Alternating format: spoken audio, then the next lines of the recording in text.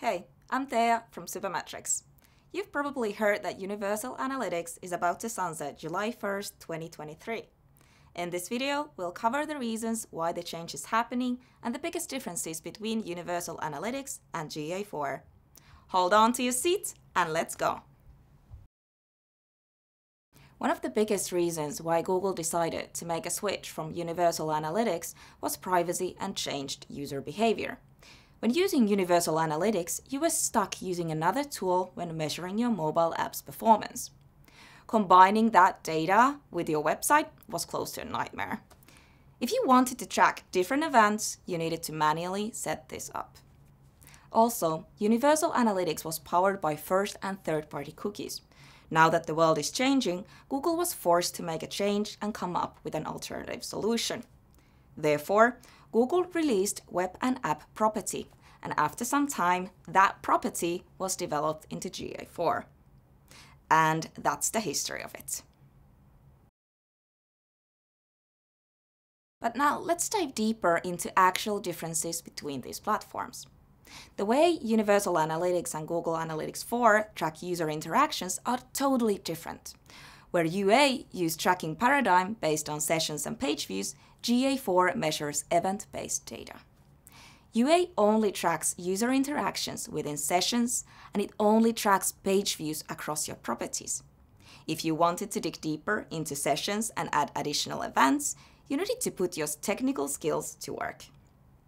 In GA4, all of this is done by default. The platform captures user interactions as events and gives you an overall understanding of your user engagement on and offline. Plus, GA4 doesn't use any third party cookies for tracking.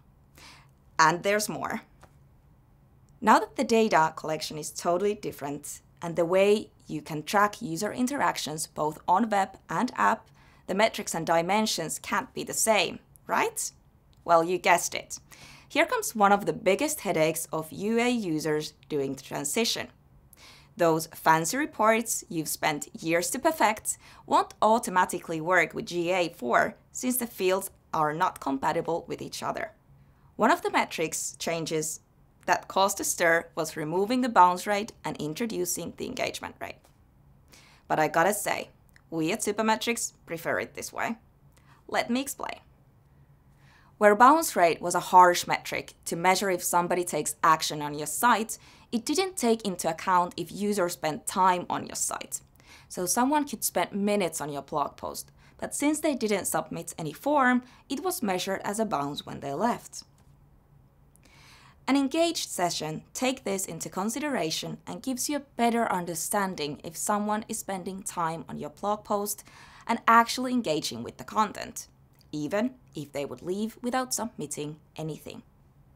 Well, there you have it, a short summary of the background and the biggest differences between Universal Analytics and GA4. Luckily, you're not alone in this situation. We are all facing the same issue. We have a lot of materials to help you transition from UA to GA4.